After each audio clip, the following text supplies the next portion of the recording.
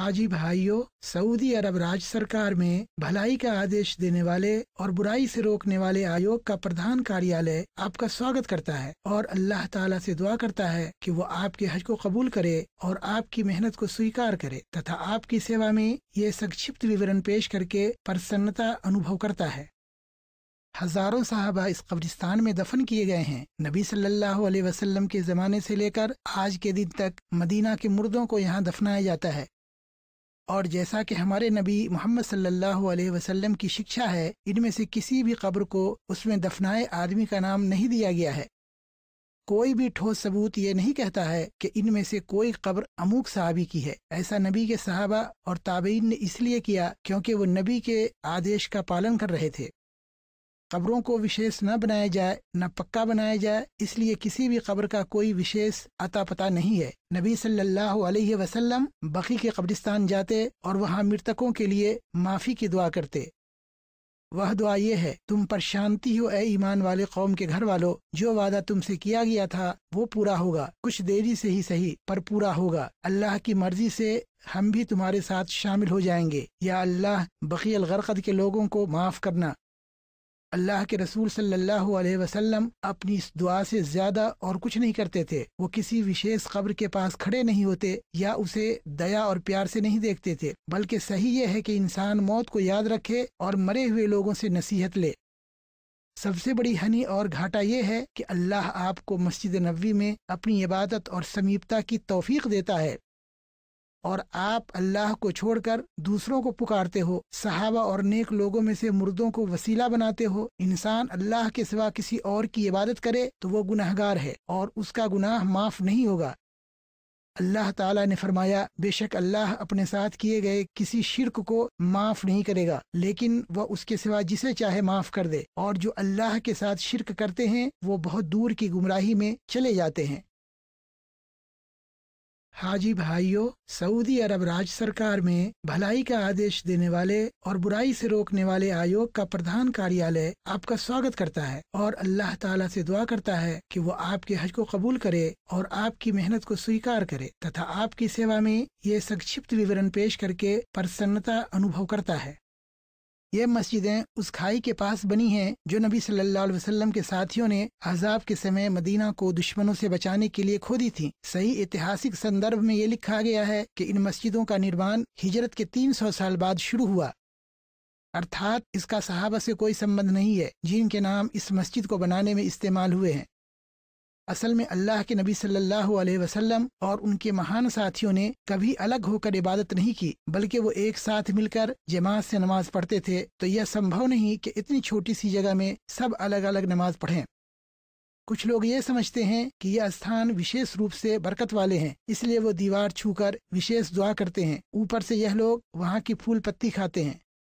यह काम शैतान का है और मुसलमानों का मज़ाक उड़ाना है, ताकि उनको अल्लाह के अलावा और चीज़ों पर निर्भर करने तथा पत्थरों और मुर्दों को पुकारने में लगा दें, जो एक गलत काम है।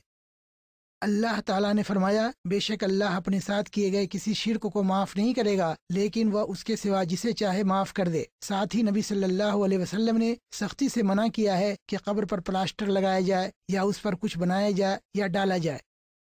मुसलमानों को अपने नबी के लिए हर जगह और हर वक्त दरुद सलाम पढ़ना चाहिए। आपके सहाबा के लिए दुआ करनी चाहिए। किसी विशेष स्थान या वक्त की विशेष दुआ नहीं करनी चाहिए। अल्लाह के रसूल सल्लल्लाहु अलैहि वसल्लम ने यह चेतावनी दी है, क्योंकि ये तरीका अल्लाह की इबादत को किसी और की ओर करने का है, जबकि इबादत के लायक कोई और नहीं सिवाय अल्लाह ताला के। ये जगह कुछ ऐतिहासिक समय में थी और फिर बहुत लोगों ने धन की लालच में इसका फ़ायदा उठाया। लोगों को वहाँ पहुँचाकर, उनका सामान बेचकर और उन्हें मस्जिदों के बारे में गलत कहानियाँ सुनाकर, ताकि जो लोग इन मस्जिदों के बारे में नहीं जानते हैं, उन लोगों से पैसे लूटें।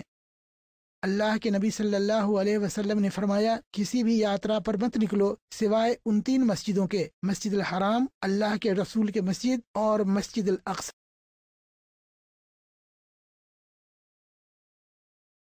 हाजी भाइयों, सऊदी अरब राज्य सरकार में भलाई का आदेश देने वाले और बुराई से रोकने वाले आयोग का प्रधान कार्यालय आपका स्वागत करता है और अल्लाह ताला से दुआ करता है कि वो आपके हज को कबूल करे और आपकी मेहनत को स्वीकार करे तथा आपकी सेवा में ये संक्षिप्त विवरण पेश करके प्रसन्नता अनुभव करता है।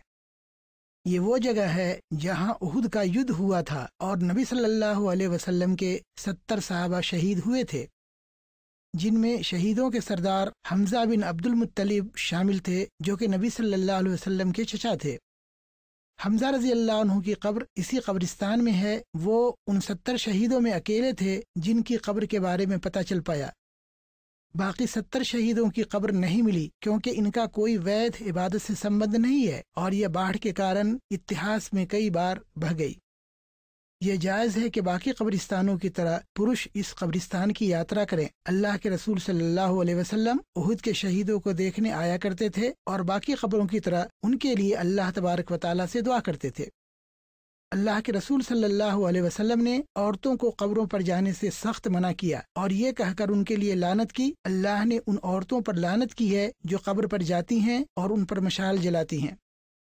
अतः इंसान को अल्लाह की तोहहीद की रक्षा करनी चाहिए और उसके अकेला होने पर यकीन रखना चाहिए। मृतकों से प्रार्थना करना या पत्थर और मिट्टी से धन्य होने की आशा करना या उनसे वो मांगना जो सिवाय अल्लाह के कोई नहीं कर सकता, मना है।